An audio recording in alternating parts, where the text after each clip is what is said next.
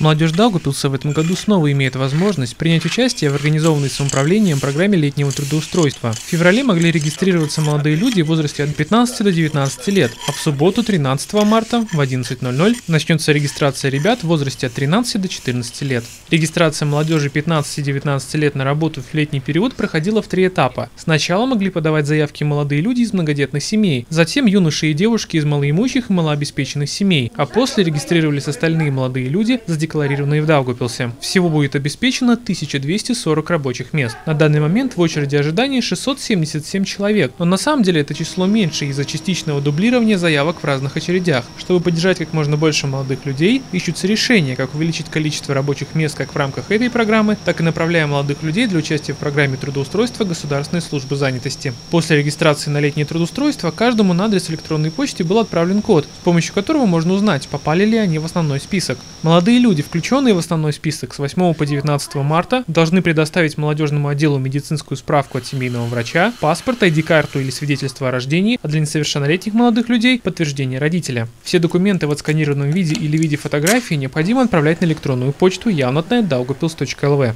Ja vēlaties kādu periodu если по каким-то причинам вы хотите поменять период работы, напишите об этом в этом же электронном письме. Также, если вы знаете, что хотите работать, например, в ПЖКХ или на теплосетях, это тоже можно указать. Мы будем учитывать это при распределении.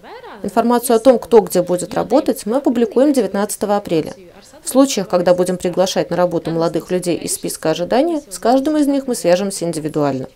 Если документы не будут поданы в оговоренный срок, молодой человек автоматически теряет свое место, и другой кандидат из ротационного списка будет включен в очередь вместо него. Молодежный отдел подчеркивает, что если у кого-то в настоящее время нет банковского счета для выплаты заработной платы, нет необходимости его открывать в спешке. Номер счета потребуется только при заключении договора, то есть примерно за месяц до начала работы. В свою очередь 13 марта в 11.00 начнется электронная регистрация на работу для молодежи в возрасте от 13 до 14 лет. Регистрация будет проходить на сайте молодежного отдела явнотно.daugupils в разделе трудоустройства и продлится до 17 марта.